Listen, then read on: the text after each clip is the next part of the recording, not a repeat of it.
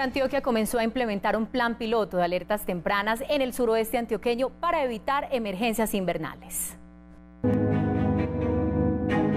Ese panorama se repite cuando las quebradas se represan, hay presencia de fuentes torrenciales o el nivel del agua sube significativamente por las lluvias, circunstancias que dejan a cientos de damnificados.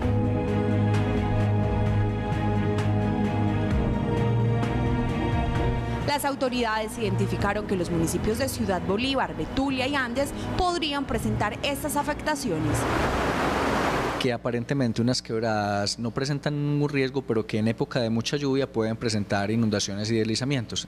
Para preparar a la comunidad que vive a la orilla del río, por ejemplo en Andes, instalaron sistemas de alerta temprana.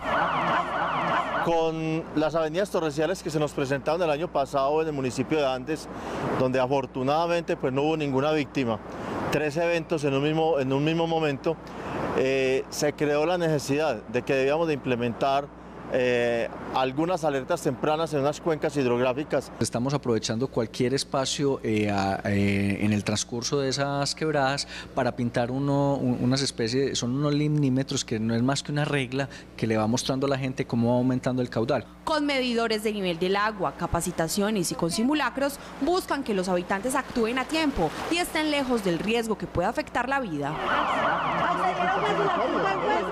El llamado es para que los alcaldes estén atentos y mantengan activados los comités locales de emergencia e involucren a la comunidad.